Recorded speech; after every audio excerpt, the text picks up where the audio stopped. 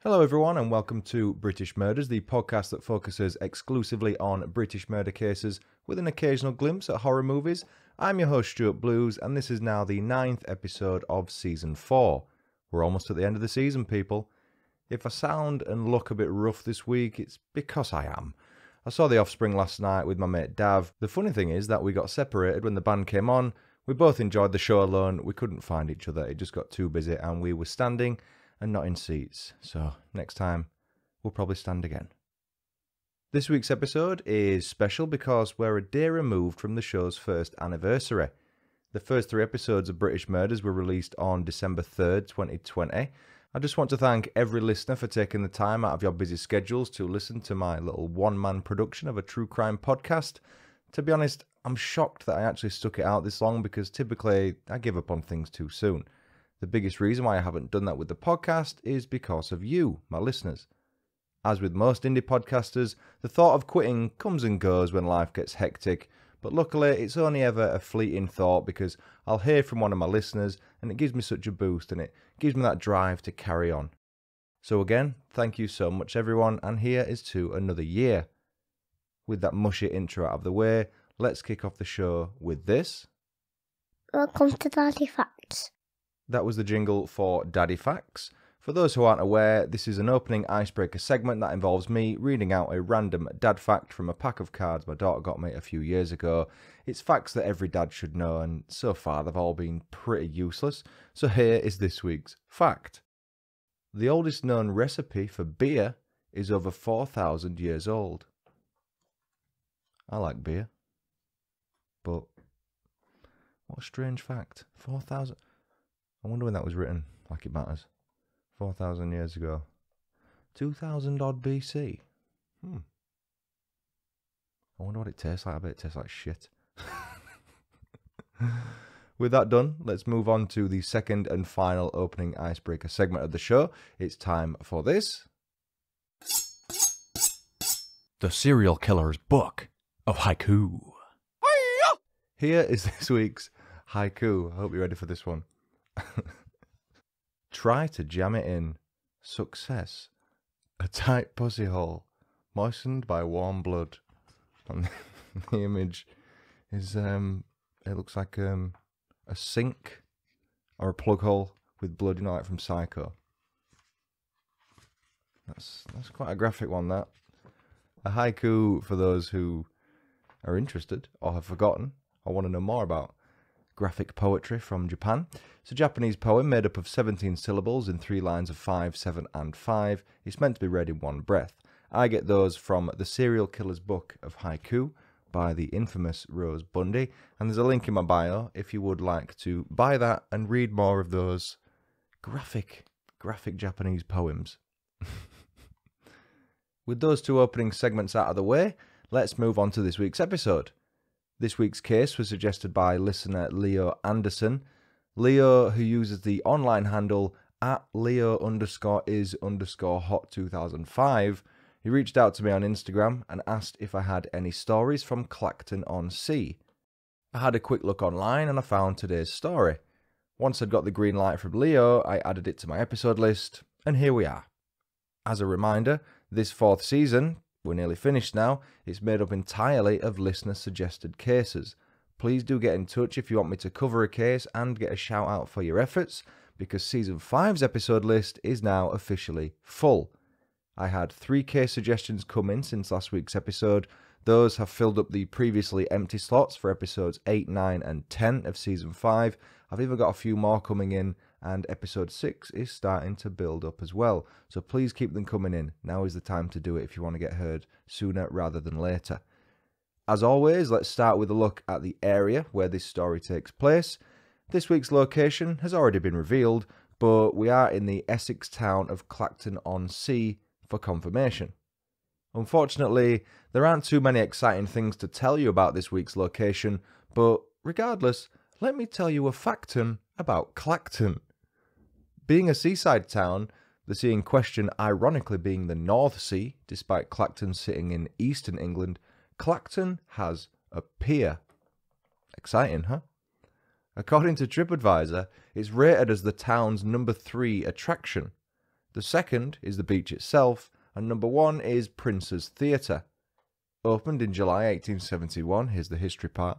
Clacton Pier is the largest pleasure pier in the UK and covers six and a half acres, or 26,304.5667 square metres. It was named Pier of the Year in 2020 by the National Pier Society. Who knew there was such an award? Ever heard of the Battle of Pier Gap? Neither had I. This local battle took place in 1964 when two rival bike gangs clashed on Clacton's beach. One gang, known as the Mods, short for Modernists, rode around on scooters and wore designer suits or parkas. The other gang, known as the Rockers, not Shawn Michaels and Marty Jannetty, favoured motorcycles and wore leather and denim. They sounded like the more traditional biker gang out of the two. Basically, the two gangs vandalised the beach and each other. It was dubbed the Battle of Pier Gap by a local newspaper, the East Essex Gazette. If I'm being honest, there's not too much else to say about this quiet seaside town, so let me just introduce this week's villain. His name is Peter Reeve, and at the time of this story's events, he was 64 years old. Before starting, please be aware that this isn't one of those stories with an abundance of information available regarding the backgrounds of the killer or his victim. This is one of those local news stories that happened entirely out of the blue. We're going back in time nine years this week to 2012. It was a funny old year, wasn't it? 2012. It was the year the internet said the world would end. Obviously, it didn't. An ancient Mayan prophecy was to blame.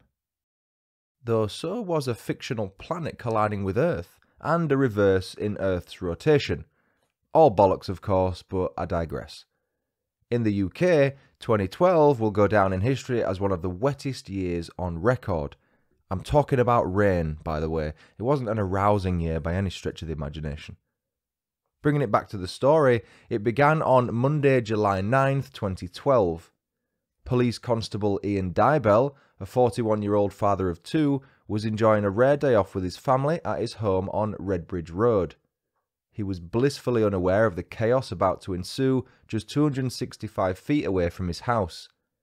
Peter Reeve was in his car and decided to confront one of Ian's neighbours, 48 year old Trevor Marshall. Trevor was outside his home with his girlfriend Katarzyna Karolak. Apparently, my Welsh accent and my Welsh place names were shocking last week, so I'm guaranteed to pronouncing that name wrong.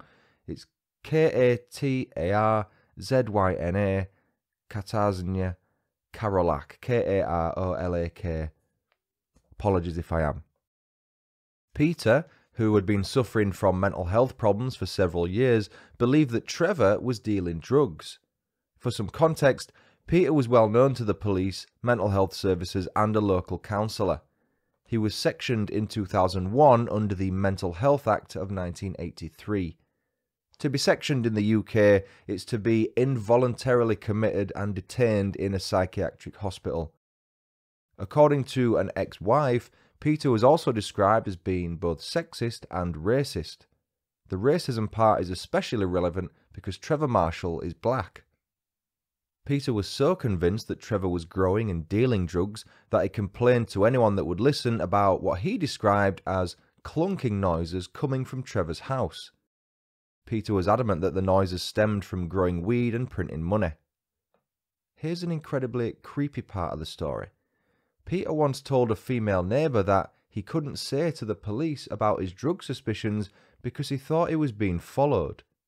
By who? I don't know.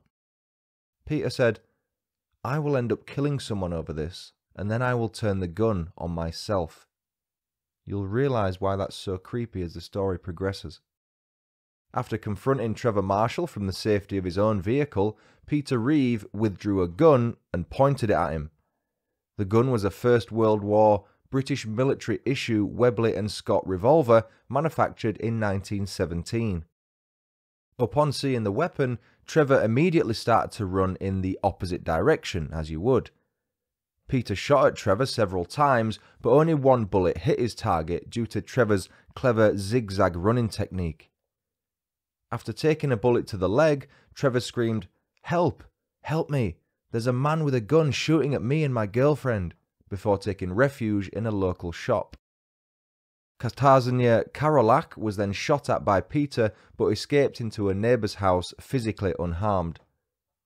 After hearing the shots outside, experienced PC Ian Dibell grabbed his warrant card, placed it in his back pocket, and made his way out onto the street despite being off duty. Putting the safety of others ahead of his own, Ian ran towards the driver's side window of Peter's car. He leant in through the open window in an attempt to disarm the shooter, and a scuffle ensued. It's unclear what happened during that brief struggle, but we know that Peter's weapon was discharged. Sadly, the gun was aimed at PC Dibell when the bullet left the chamber. The bullet went through Ian's right palm and into his chest, collapsing his lung in the process. After shooting PC Dibell, Peter fled the scene in his Toyota and crashed it into a wall shortly after. He then continued to flee on foot. A total of 23 calls were made to 999 by witnesses from 3:37 p.m. until the police arrived 16 minutes later at 3:53 p.m. One female witness said, "I heard a lot of commotion at about 3:40 near the flats at the end of the street. I didn't know what was going on. There's still a lot of commotion in the street. I saw a man running up the road. I don't know anyone involved in what's happened. The whole road has been cordoned off. My husband isn't being allowed back to our house. 83 year old Patrick Mooney had been out shopping at the time of the attack and was surprised at the heavy police presence near his home when he got back at around 4 pm. He said, I was escorted back to my house by police and told, stay inside. I didn't ask what was going on, and they didn't tell me. Another Redbridge Road neighbour named Hazel Field said, I was in the garden at the time and heard a gunshot, followed by a woman's scream. Then I heard another gunshot, followed by about five more. Peter is thought to have discharged his weapon between seven and ten times in total during the melee. Another witness said, We were standing outside and heard what we thought was a dog howling, and then we realised it was a woman screaming. We heard a man shouting, and then there was another series of gunshots before it went quiet. It must have been about 10 to 15 minutes later that we heard police sirens. Unfortunately, PC Ian Dibell was pronounced dead at the scene by paramedics. His neighbours had performed CPR but were unable to resuscitate him. He had suffered fatal damage to his aorta along with the collapsed lung. The aorta is the body's primary artery and it's also the largest.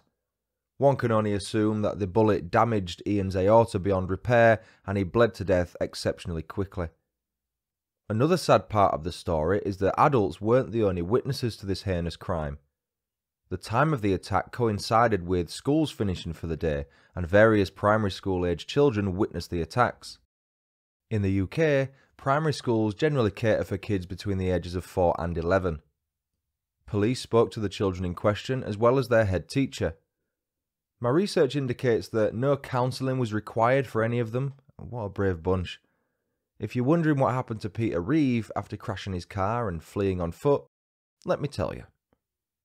He bumped into a local man named Ivor Starling and asked him how to organise booking a taxi. Ivor, a 74 year old retired truck driver, noted that Peter looked on edge and that his face was flushed. Peter said to him, I've had such a terrible, terrible, terrible day. If I told you how terrible it is, you could never believe me. I need a taxi. Ivor initially offered for Peter to use his house phone to book a taxi, but that offer was rejected. Peter instead agreed it would be best if he caught a train instead of booking a taxi. At 6:21 p.m., CCTV footage shows Peter Reeve on a train going from Weeley to Colchester Town Centre station. He then travelled on to Colchester North Station before arriving in Chelmsford at 7:57 p.m. He had friends and family in Essex's county town and visited his sister, Janet Hines. Peter asked Janet if she would put him up for the night, but she refused. Essex police meanwhile started hunting Peter and told the public that he was armed, dangerous, and should not be approached under any circumstances. He was described as a white, 5 foot 10 inch male with short greyish hair. He was said to be wearing jeans and possibly glasses, however, the CCTV images I've seen suggest otherwise with regards to the glasses.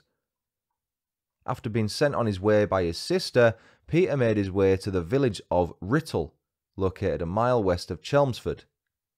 It was in Writtle where Peter's mum was buried. She took her own life over 30 years earlier after taking a pill overdose. Details of what happened overnight aren't precise, but it appears as though Peter was simply walking around the local village. On the morning of Tuesday, July 10th, 2012, Peter found himself in the graveyard of Writtle's All Saint Church. This is pure conjecture, but I'm guessing that maybe was where his mum was buried. Peter spoke with David Coyler that morning after the gardener had arrived to cut the churchyard's grass. Peter said, Sorry for shooting the police constable. If this doesn't work, I have got plenty more ammo in my pocket. Imagine arriving at work and hearing that. Peter then withdrew his gun, placed it against his forehead, and pulled the trigger. He died instantly.